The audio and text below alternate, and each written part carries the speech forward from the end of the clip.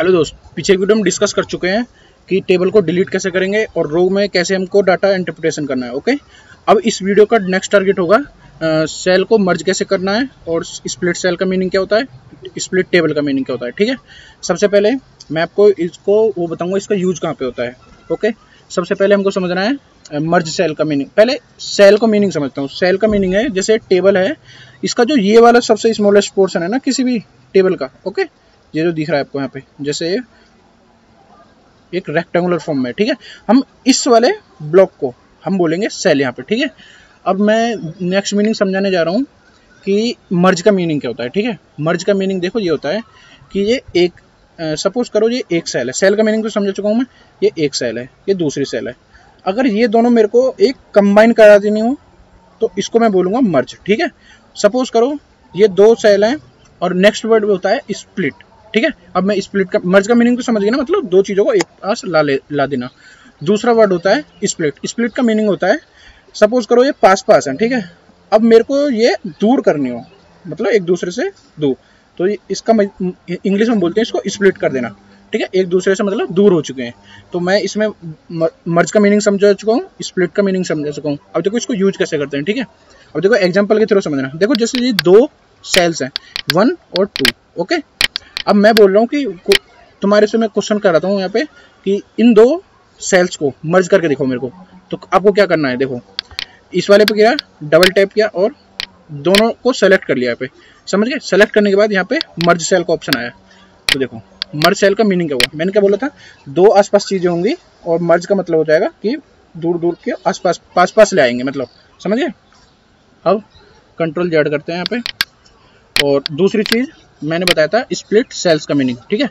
अब देखो split sales का मीनिंग क्या होता है? स्प्लिट का बोला था मैंने अभी, एक मतलब डिस्ट्रीब्यूशन एक टाइप का, ठीक है? मतलब अलग अलग कर देना।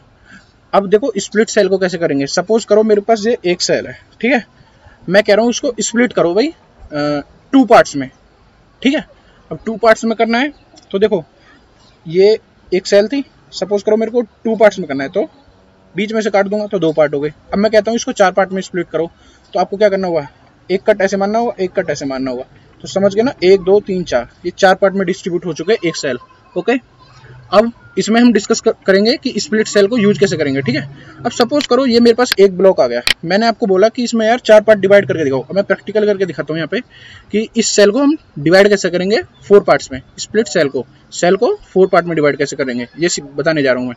तो यहाँ पे गया मैं, इसको सेल को ओके किया और स्प्लिट सेल को ओके करता हूँ अब देखो, मैंने क्या बोला था? मैंने रो और कॉलम इससे पीछे वाली वीडियो में डिस्कस कर चुका हूँ, ठीक है? इसको अगर अगर समझ में नहीं आया होगा तो पीछे वाली वीडियो में चले जाना। इससे तीन वीडियो पीछे वाली जो है, उसमें मैंने रो और कॉलम को प्रॉपरली एक्सप्लेन किया है। अब देखो, दोबारा एक्सप्लेन कर देता हूँ, अगर थोड़ा अगर किसी को भूल गए हुए देखो, ये जो है हॉरिजॉन्टली ठीक है? इनको बोलते हैं रो और जो वर्टिकली अलाइन होती हैं, ठीक है? इनको बोला जाता है सेल कॉलम्स ओके अब देखो, ये पूछ रहा है कि मैंने क्वेश्चन बोला था कि चार पार्ट में एक सेल को डिवाइड करना है, ठीक है? तो आपको क्या करना होगा कि ये जो ब्लॉक है आपके पास, इसको कैसे कर सकते हो? अगर मैं चार पार्ट में डिवाइड करना चाह रहा हूँ तो बीच में से एक कट मारता हूँ, ठीक है?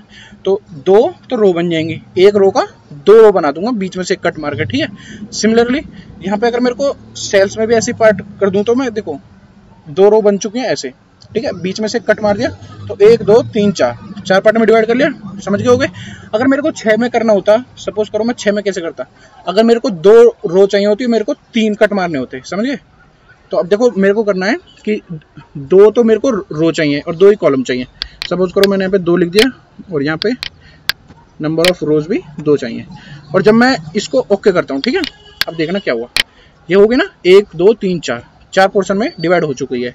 एक सेल ओके इस वीडियो इसमें अब ये भी समझ गए होगे कि एक सेल को इस स्प्लिट कैसे करना है। मैं बोल रहा हूँ यहाँ पे सेल को, ठीक है? अब एक एक कंप्लीट टेबल है, ठीक है? नेक्स्ट क्वेश्चन मेरा आता है आपके पास कि, दोस्त, ये करके दिखा, एक टेबल एक टेबल कंप्लीट बड़ी वाली। जैसे कि ये वाली टेबल है। समझ गए होगे? ये जो एक रेक्टेंगुलर की फॉर्म में मैं कहता हूँ आपसे कि यार इस पूरी टेबल को, दो टेबल में कन्वर्ट करके देखा। तो आप इस टेबल को देखो, मैं पहले इसका वो बताता हूँ, इसका यूज़ कहाँ पे होता है, ठीक है? अब करके तो बाद में देखेंगे, पहले इसका पर्पस कहाँ पे कहाँ कहाँ पे यूज़ हो सकती है, जो टेबल एक एक टेबल से दूसरे टेबल में कन्वर्ट करना हो। सपोज़ करो, देखो मैंने एक ट्यूशन फ़ीस की लिस्ट बनाई थी, ठीक है? अब यार कोई टीचर है ठीक है? टीचर कुछ बच्चों को पढ़ा रहा है, जैसे अभी तक हैं एक, दो, तीन, चार चार बच्चे हैं, मंजीत, अंशु, अमित, राजा, ठीक है? अब आने वाले टाइम में अगर सपोज़ करो टीचर के पास नंबर ऑफ़ स्टूडेंट का काउंट काफ़ी ज़्यादा बढ़ जाता है। अब तो चार है। कल को आने वाले टाइम में एक साल बाद ही हंड्रेड बच्चे हो जाएँ, ठीक है? तो टीचर को बहुत प्रॉब्लम होगा एक साथ, इतना सारा, एक साथ डाटा रखने के लिए। तो टीचर क्या करेगा इतने सारे बच्चों को एक साथ मतलब पढ़ाने के लिए और दो सेक्शन डिवाइड कर सकता है, ठीक है? ए सेक्शन बी सेक्शन ठीक है?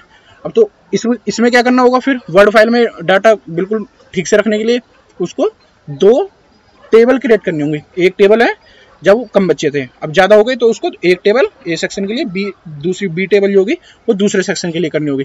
तो यहाँ पे हम सीखेंगे कि वो जो टेबल है ओके उसको दो दो टेबल्स में कैसे कन्वर्ट करेंगे। सपोज़ करो, देखो पहले रूल्स यू रूल को याद रखना है आपको, कि जो रो जो होगी रो मैं बोल रहा हूँ रो रो के जो ऊपर वाली लाइन होगी, हमेशा टेबल वहाँ से कटेगी जो कटेगी।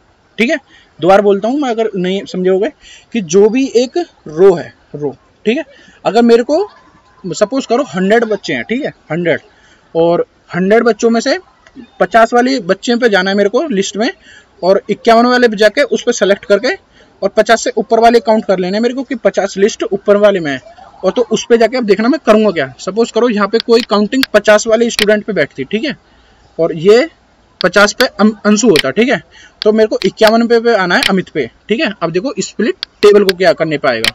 कि दूसरी टेबल क्रिएट हो चुकी है यहाँ पे ओके मतलब ए सेक्शन के अलग और दूसरे सेक्शन की अलग ओके इस वीडियो में हमने क्या डिस्कस किया ठीक है?